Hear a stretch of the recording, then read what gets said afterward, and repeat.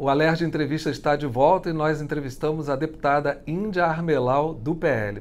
Deputada, eu gostaria de saber como que a senhora fez a escolha para entrar na política, né?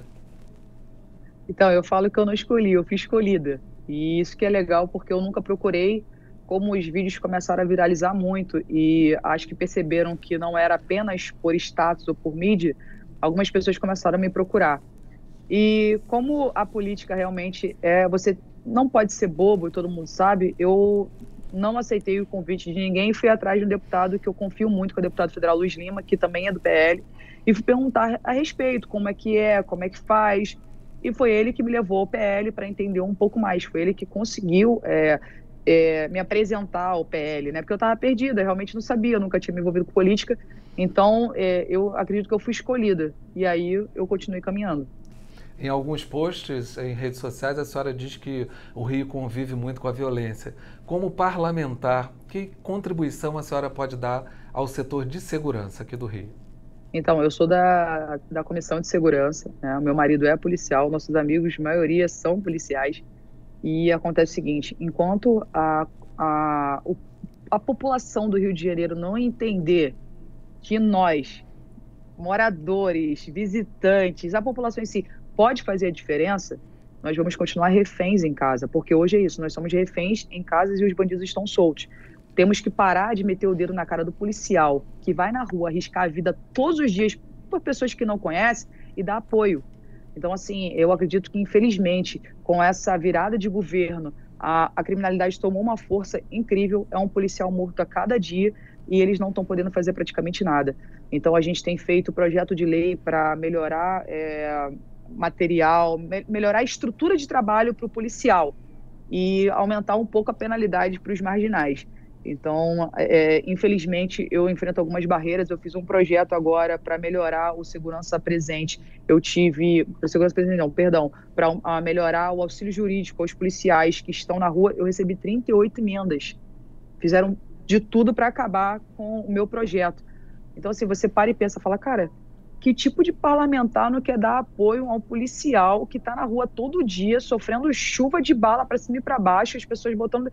E aí a gente demora, mas a gente não desiste. Mas os projetos de leis todos são para estruturar melhor é, o trabalho da polícia para que ela consiga realmente realizar o trabalho dela, porque senão a população do Rio de Janeiro vai ficar entregue. Infelizmente, se os policiais resolverem cruzar os braços, aí, amigo, ninguém sai de casa. É, deputada, a senhora é capricorniana, né? E segundo o que eu li, são pessoas muito disciplinadas, sérias, responsáveis e também que extremamente obstinadas e persistentes. A senhora se identifica assim? Até demais. Uma coisa só é que é eu, não é que eu seja grossa, mas eu sou uma pessoa muito direta. Então, as pessoas que já trabalham comigo é, já identificam. Às vezes a pessoa vem falar, ah, não, porque A mais B mais C. Eu falo, o que, que é? Resume. Então, assim, é, chego, tô todo dia aqui, segunda, quinta, sexta, estou no gabinete. Quando eu fiz o time aqui, eu falei, ó, é para trabalhar. Se não quiser, daqui para fora. Não vai ter cabide, não vai ter nada, porque se botar a gente aqui é para fazer diferença. Ninguém está ganhando mal aqui. Então, assim, é, eu tenho uma, um time muito bom, legislativo, imprensa, é, a galera que trabalha na RH, a galera ali da recepção, a galera que fica me ajudando nas comissões, porque as pessoas não têm ideia do que é isso aqui. Isso aqui é um mundo. Então, muitas pessoas falam, ah, mas você tem 10, você tem 5, você tem... Eu já falei, vem um dia, fica aqui no gabinete para você ter ideia que Cada um tem uma função específica. Isso aqui é uma a alergia é uma cidade. Ela funciona independente do que está acontecendo. Aqui são as comissões, as reuniões, as audiências, é reunião com o prefeito. Então, assim, o time foi muito bom e desde sempre já sabiam que é assim. Não quer? Pode sair. Vamos falar agora um pouquinho mais da sua plataforma política, né? Quais são os projetos de lei que a senhora defende aqui na LERJ e como contribuição para o cidadão é, fluminense, né? Então, hoje, é, eu defendo o normal. Infelizmente, o normal virou extrema-direita. Né? Então, assim, eu defendo todos os agentes de segurança pública, porque o Rio precisa de segurança e ponto final. Eu defendo as crianças, por isso que eu sou contra a ideologia de gênero nas escolas. As crianças têm que ser crianças. Ponto. Tirar a meleca do nariz, perder o tampão do dedo. Não tem que falar sobre sexualidade. Eu sou a favor das mulheres, por isso que eu sou a favor do terceiro banheiro. Esse negócio de, ah, eu me identifico, a gente está tendo violência nos banheiros, como estupros, assédios, daqui a pouco entra a pedofilia. Então não é questão, ah, a Índia ela, é, ela é transfóbica, ela, não.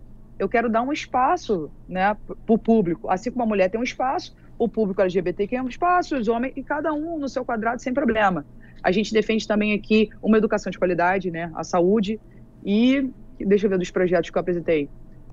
A, a, a, o PCD aqui também, a gente apresentou vários projetos, né, pessoas com deficiências que englobam o autismo, né, porque muita gente quer separar o autismo do PCD, mas a gente está fazendo tudo no mesmo bloco, porque acho que desde 2012 uhum. o autismo entrou no PCD. Então, meu primeiro projeto na casa foi para PCD e as pessoas que cuidam de pessoas com deficiências, que passam por depressão, se suicidam. Então, a minha bandeira é muito ampla. A gente tenta abraçar tudo para ajudar todo mundo. Eu não sou uma pessoa de um partido, de um partido não, né? Eu sou do PL, mas eu defendo o povo brasileiro. Eu defendo o Rio de Janeiro. Então tudo que eu puder fazer para que o Rio de Janeiro tenha uma qualidade de vida melhor, eu vou fazer. Então assim, a minha bandeira é um pouco ampla. Há pouco tempo a senhora teve a oportunidade de conhecer o trabalho da Cruz Vermelha de Nova Iguaçu e vem incentivando né, o programa Adote um Aluno da Cruz Vermelha, que inclui, por exemplo, Libras, serviço social, educação. O jovem também faz parte da sua plataforma? Sim, o que a gente fez? A gente foi na Cruz Vermelha e, como vários locais, várias ONGs, né, infelizmente eles passam por altos e baixos. E com a pandemia, muita gente deixou de ajudar. E lá eles oferecem muitos cursos que são incríveis e de valor acessível. Então, o que, que a gente fez? A gente olhou toda a estrutura, vamos tentar ajudar como, como podemos, mas lá eles estão com adote um aluno. E eu perguntei se eu podia adotar. Então, eu adotei um aluno, meu marido adotou, a gente fez uma, um sorteio que vai anunciar agora sexta-feira, justamente para incentivar o aluno que não tem condições, mas quer estudar, quer evoluir a estar no mercado de trabalho. Então, a gente recebeu muita mensagem, Índia, eu quero muito fazer, mas tudo tem um, uma regra. Se não for, se faltar, tirar nota baixa, a gente vai tirar a bolsa.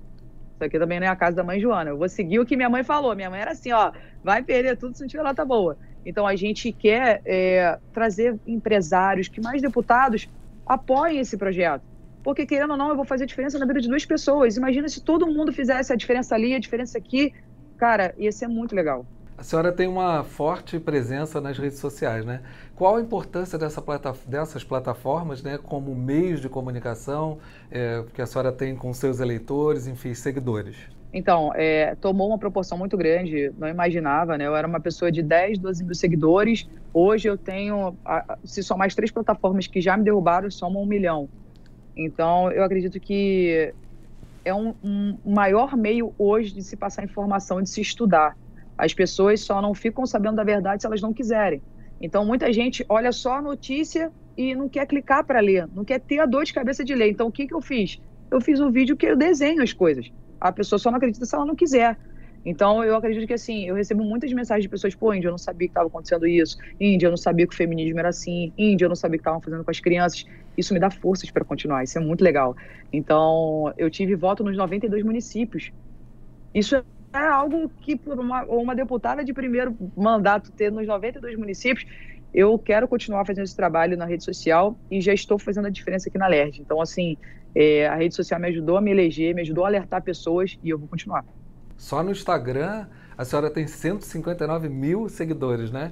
E a e, senhora disponibilizou, e, eh, disponibilizou, até um WhatsApp, né, para trocar e, informações, enfim. Como é que é? Então, então, eu não tenho muitos seguidores no Instagram. Se você for é, ver alguns, de, alguns candidatos que tentaram se eleger, tinham 300, 500, mas os vídeos viralizam muito. Então, é o que eu falei, o TikTok eu perdi uma conta com 900 mil seguidores, a outra com 400 mil seguidores. Aí a gente teve que começar de novo. Aí tem o Facebook, tem o YouTube, eu ainda não consegui ir pro Twitter. É que assim, querendo ou não, é tudo muito novo para mim. Eu não sou uhum. mais uma adolescente que sabe mexer em tudo, eu tenho que pedir ajuda aqui mas é, o Instagram ele deu uma diminuída agora nos meus vídeos, porque o algoritmo deve ler alguma coisa, quando você começa a falar de coisas que o sistema não quer, o vídeo não, não vai. Então, assim, é algo que é o meu meio de trabalho, mas infelizmente eu estou lutando contra o sistema que está tentando derrubar as plataformas é, de mídia para a gente passar as informações. E quem acompanha a TV Alerj, as sessões plenárias, a gente percebe que a senhora é bastante atuante, né? É importante a participação do deputado nesses espaços de debate?